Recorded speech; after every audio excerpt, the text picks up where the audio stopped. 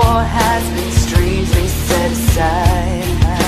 Reason for living, my mind is forgiving, and destiny is proving to be absent.